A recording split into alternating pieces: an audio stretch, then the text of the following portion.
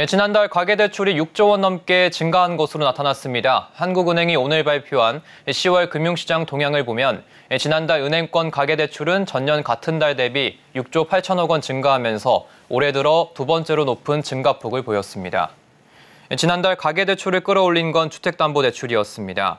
한 달 사이 5조 8천억 원이 늘며 총 장액 규모는 839조 6천억 원으로 불어났습니다. 고금리 영향으로 2년간 감소세를 보이던 신용대출은 1조 원 늘며 증가로 전환했습니다. 신용대출이 늘어나는 건 2021년 12월 이후 약 2년 만입니다. 신용대출 증가는 지난달 초 연휴 소비자금과 공모주 청약 등의 수요가 늘어난 영향으로 한국은행은 분석했습니다.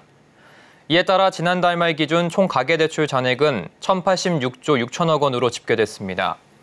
한국은행은 가계대출 증가와 관련해 주담대 금리 인상과 주택거래 흐름에 따라 향후 대출 증가폭도 둔화될 것으로 분석했습니다.